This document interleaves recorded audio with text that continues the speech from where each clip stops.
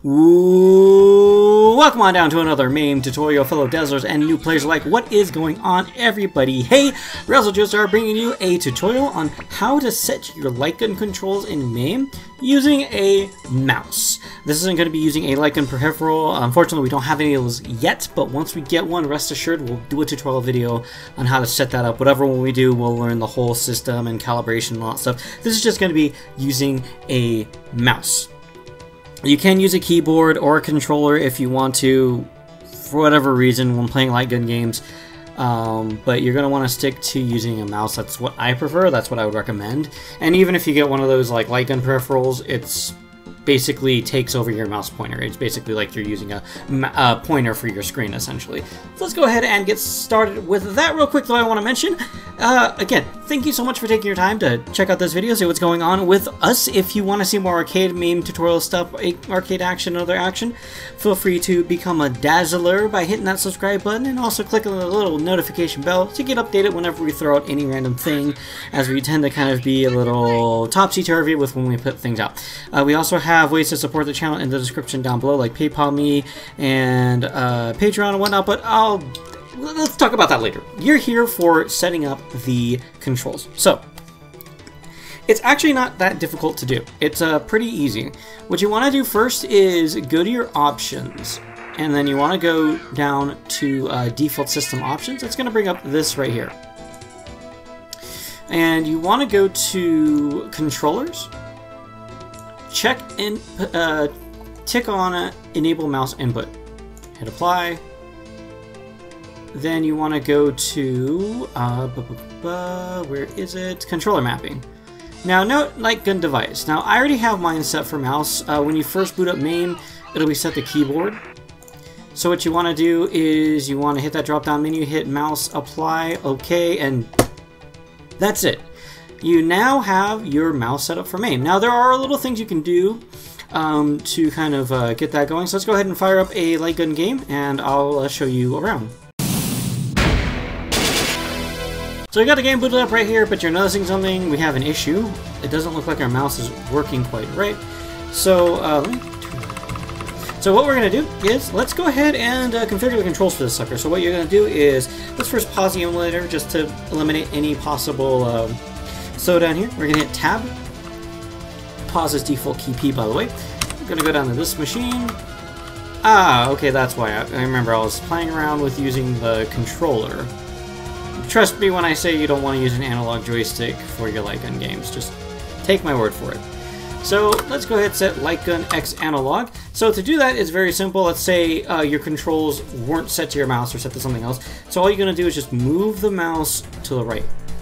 Oh, I kind of moved. I messed up. Let's try that again. Uh, let's go ahead and delete, enter, rate. There you go. You saw down there it said mouse 2x.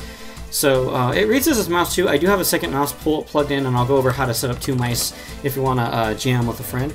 So let's go ahead and click that. We're going to move the mouse up. You can see mouse 2y. Then we're going to go to button 1 and you just click the left mouse button, and there we go.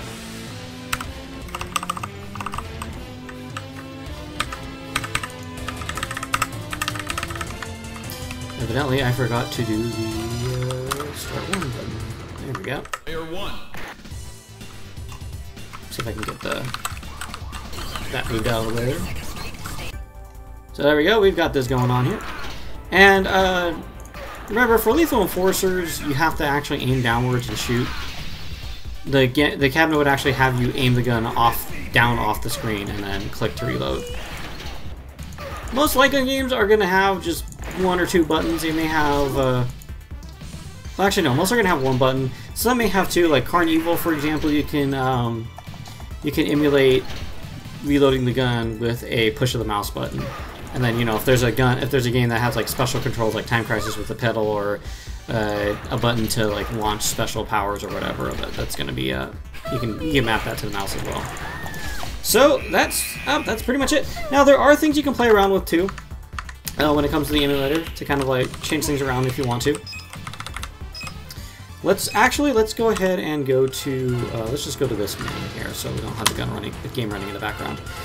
Uh, you want to go to not slider controls. You want to go to analog controls. Here we go. So here we have the analog controls. So analog controls are good for like if you're playing with a controller. Digital speed is basically um, basically how, how fast you're gonna it makes your controller move when you're using uh, you're using something other than a mouse or an analog stick. Sensitivity is going to be what you want to mess with. This is basically your mouse sensitivity.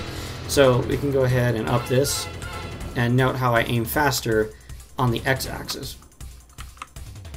I usually just leave it at default and I just get used to it that way.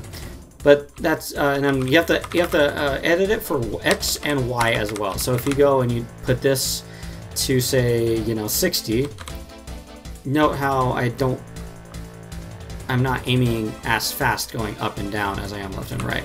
So you have to do the X and Y. So keep that in mind. Uh, if you are playing a game and your shots seem like they're straying, you're going to want to use the game's um, menu. The game's, uh, like we're at the service menu. Service menu for Lethal Enforcers, unfortunately, uh, isn't really that much, if I remember correctly.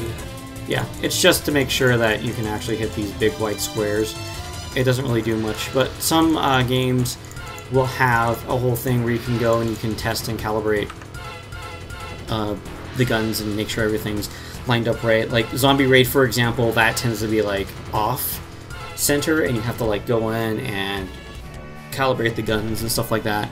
Um, there may be some problems too, like I know with Area 51, I, I, get that calibrated and it still kind of slightly pulls to the left. If any of you watched my uh, Let's Plays of that, you probably noticed that it was slightly off. You also get some cool options too. Uh, some versions of the MAME, like this one will let you change to different crosshair to different things. So there's different colors you can use. I believe there is a way to actually edit and add in your own crosshairs, but I will go over, uh, still playing around with that, and as soon as I know, I'll let you know. And visibility just basically controls if the crosshair is on or off, or not. Like with auto, for example, if you just let it sit there, uh, it'll it'll shut off on its own until you move it, which I really should use for my Let's Plays, so... okay, so that's simple enough. Now let's say you have two mice, right? You want to play Lethal Enforcers with a friend. So what you're going to want to do, and one thing I want to also mention too, if you go into the game and it's not working and you check the controls and mouse controls are set, um, or it's not even reading your mouse and you're trying to do the um, inputs for it, always double check. Uh, you can always go to properties and then just go ahead check controllers make sure things are checked there. And then um, go to controller mapping make sure that's checked. Now what we're going to do for multiple mice is go to controllers. You can see I've already got this checked here down here multiple mice so I'll go ahead and just check uncheck that. Hit apply and let's go ahead and reboot the game and go from there Alright, so we still got our first mouse working, so let's go ahead and see if MAME is reading the second mouse that I got plugged in. So we're going to go to input this machine. Let's go to player 2. Yep, there we go. We got mouse button. Yeah, for some reason it's reading the second mouse I plugged in as mouse 1. Doesn't really matter. That's just how MAME's reading it. Uh, let's see, uh, where is Y2? Here we go.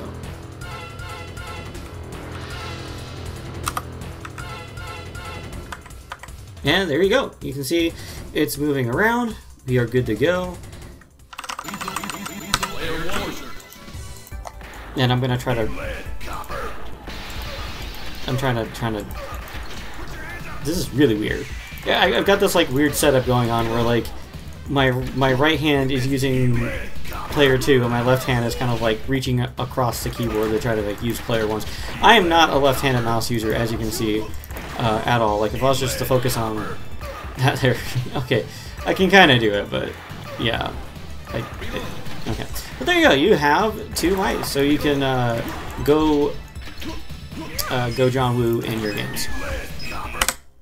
And that is that's basically it. That's all you need to know to set the controls for uh, light gun games. Now, note that not all games you think would be light gun would be light gun. Um, I know I've seen a couple games where it actually uses a joystick instead of a light gun. A good example would be the Jurassic Park game, not Lost World, but the one by Sega, where you know the one that used to be in Chuck E. Cheese, where the seat would move. That actually uses a joystick. Um, I'm not going to go into those, especially because I'm still trying to figure out how to get that to work right. It's a little quirky. Let's go with that. A little quirky, a little quirky for me to figure out. So going into that, but that's all you need to know about mouse controls. Um, if yeah, that's all you need to know about mouse controls. Um, sometimes you won't be able to shoot outside of the screen to reload in all games in all angles. Like uh, Area 51's like that. Remember how I said it kind of pulls slightly to the left? So I actually can't reload the gun off the side of the screen to the right. I'm always going, like if you watch the Let's Play, I don't remember if it was the right or the left, but if you watch the Let's Play, you can, you'll notice I avoid, I'll do like the top or the bottom or the left, but I always avoid the right or whatever side of the screen. Avoid one of the sides of the screen because that's the problem that happens. Um, but that's pretty much it. If you have any questions, comments, concerns, always feel free, of course, to drop a comment down below. We do read our comments. We do respond to them when more than the same timestamp several other people have done. But hey, you know, everybody's got their favorite moments, right? So, we do read comments. If you want suggestions or help with anything, just let us know. We'll do what we can to help you out. And uh, of course, uh, there are some other things too. Uh, remember, if you liked what you saw here and you want to see more things, you want to help support the channel, always toss us a subscription. Becoming part of the community of Dazzlers is great, as is ringing a bell, so you can kind of get notified about new things when they appear on the channel. If you want to help monetarily support the channel, there is also uh, Patreon which is a more of a long-term thing if you want to long-term donate. We also have Co uh, not Ko-fi. We got rid of Ko-fi. We're doing PayPal.me for a one-time donation. You will need a pay I believe you need a PayPal account to do PayPal.me though.